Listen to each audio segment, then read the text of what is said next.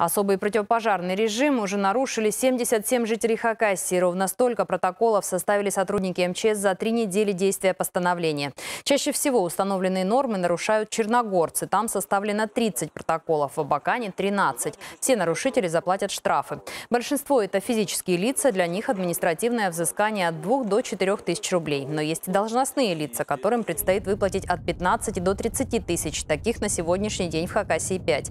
Напомним, противопожарный режим режим на территории республики был введен 24 марта, пока на месяц. При необходимости он будет продлен.